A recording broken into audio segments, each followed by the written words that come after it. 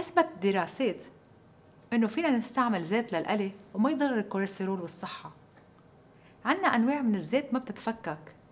يلي فينا نستعملها هي زيت جوز الهند زيت السمسم وزيت دوار الشمس. ومن الأفضل إنه يكونوا من المحل العضوي. للأكل البارد زيت الزيتون هو أفضل أنواع الزيت يلي فينا ناكلها مع السلطات.